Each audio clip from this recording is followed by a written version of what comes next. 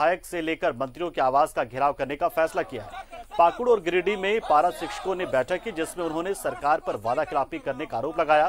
साथ ही उन्होंने 17 जनवरी को सत्ता पक्ष के विधायकों के आवास का घेराव करने की बात कही है।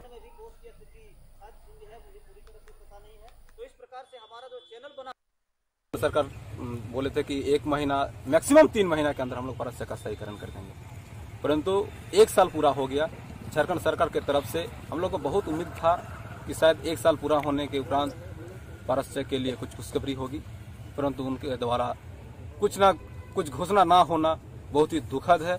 इसीलिए हमारा राज्य स्तरीय बैठक हुई। राज्य स्तरीय बैठक में निर्णय लिया गया कि अब पारा शिक्षक आंदोलन के मूड में जाएँगे और पारा शिक्षक आंदोलन करेंगे। आगामी सत्रह तारीख को प्रखंड सभी विधायक, सतपक्ष के विधायक को हम लोग घेरेंगे।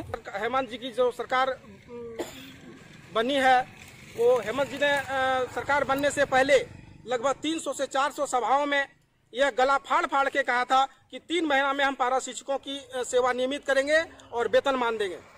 लेकिन आज एक साल बीत जाने के बाद उनतीस तारीख को जो मोहराबादी मैदान में जो कार्यक्रम जो किया गया, एक साल सरकार जो जो लेखा जोखा जो प्रस्तुत किया, उसमें पारा शब्द का नाम तक नहीं आया। इससे हम लोग क्षुब्ध होकर के सरकार के खिलाफ के, खिलाफ हम लोग आंदोलन करने के लिए तैयार है और सत्रह तारीख और इधर लगातार अपनी मांगों को लेकर आंदोलनरत चौदहवें वित्त आयोग के संविदा कर्मियों ने सरकार